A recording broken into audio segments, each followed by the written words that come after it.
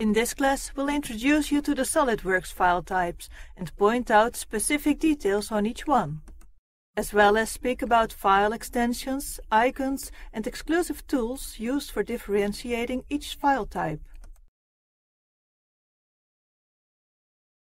There are three file types in SOLIDWORKS, part, assembly, and drawing. Each one is responsible for creating and editing drawings of part files, assembly files and detailing respectively. The part file is the mode for modeling parts. The file extension is .sld PRT. The assembly file type is for assembling parts. The part of an assembly can be part files as well as sub-assemblies required for the product structure. The file extension is .sld ASM.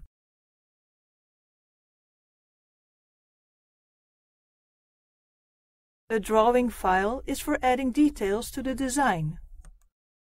It is possible to either add details to a part or an assembly file. File extension is .sld There is an exclusive interface for each one of these three file types, which is defined by templates. SOLIDWORKS provides some standard templates.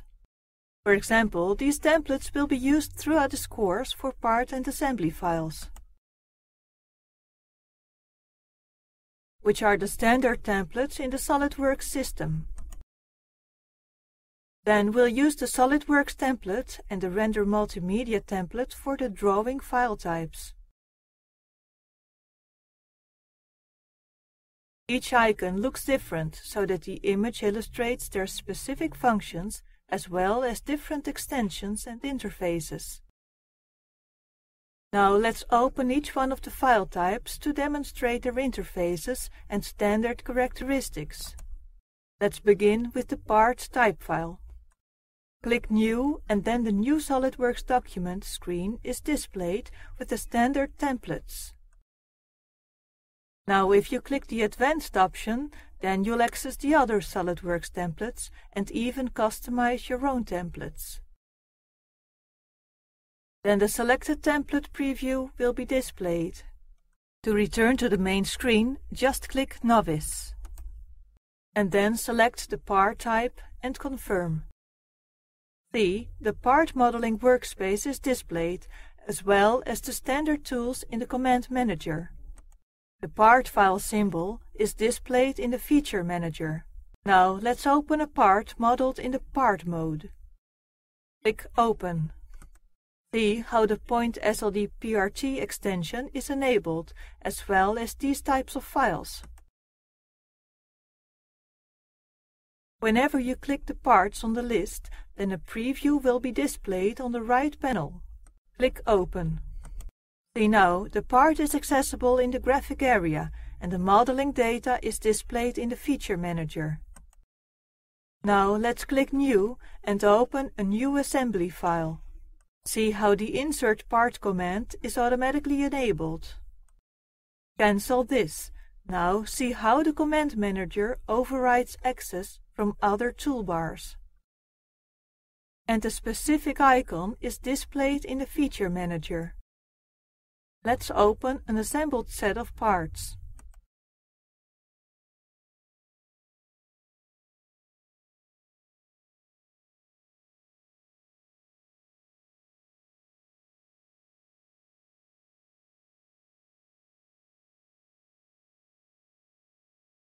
Look at the assembly data on the Feature Manager.